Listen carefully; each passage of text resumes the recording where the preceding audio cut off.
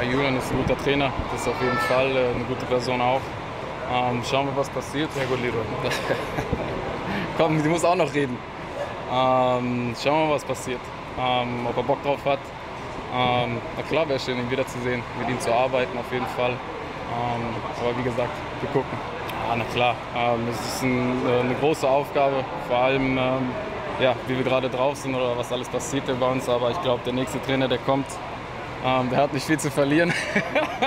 wir stehen gerade nicht allzu gut, aber na klar, wir haben eine große Aufgabe vor uns, äh, vor der Heim-EM. Aber wir schauen. Wir müssen halt einfach von äh, ja, Länderspiel zu Länderspiel gehen und ähm, schauen wir mal, wer, wer der nächste Kandidat ist. Ja, na klar, das war äh, ja, eine gute Atmosphäre hier, auf jeden Fall. Ähm, vor allem mit, vor, vor so vielen Zuschauern. Ich hoffe, das hat uns jetzt. Äh, ach du voll Idiot. Sorry.